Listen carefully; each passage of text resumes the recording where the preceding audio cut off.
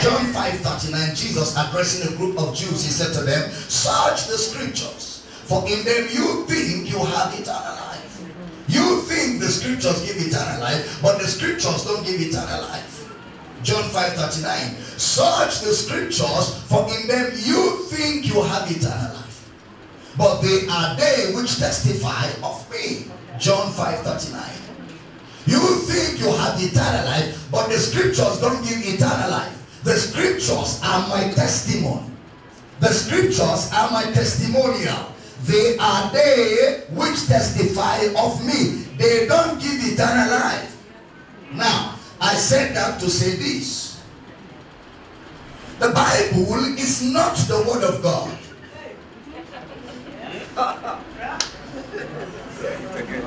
Selah. The Bible is not of God. Because the word of God is not paper and ink.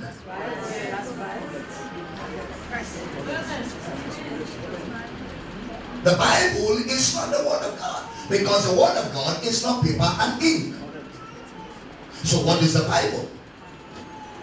In the beginning was the Word, the Word was with God, the Word was God. The same was in the beginning with God. All things were made by Him, and without Him was not anything made that was made. In Him was life, and the life was the light of men, and the light shines in darkness, and the darkness cannot comprehend it. Verse 6 There was a man sent from God whose name was John. He was not the light, he came to be a witness of the light. Verse 11 He came unto his own, and his own received him not. Verse 12 but as many as received him, to them gave he power to become the sons of God. Verse 13, which were born not of flesh, nor of blood, nor of the will of man, but of God. Verse 14,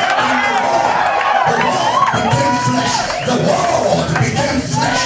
The word became flesh and dwelt among us. And we beheld his glory as the glory of the begotten of God, full of grace and truth. And of his fullness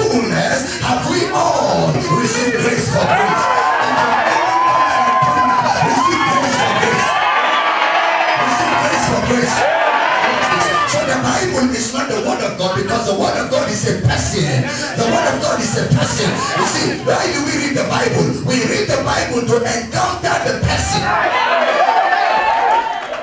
It's not enough to read the Bible. Beyond reading the Bible, you must encounter the person, the person of the world.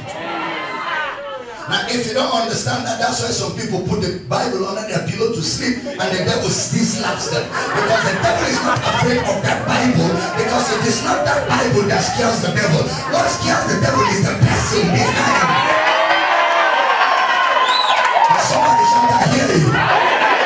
So we study the word of God to encounter the person. There is a person behind the Bible.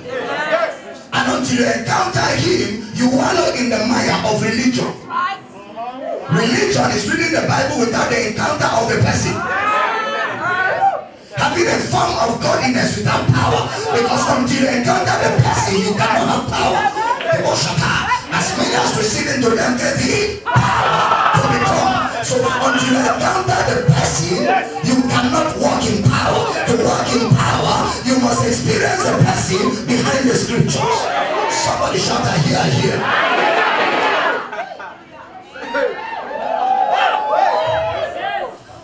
That's why people put the Bible on their dashboard. They have accident and they die with the Bible.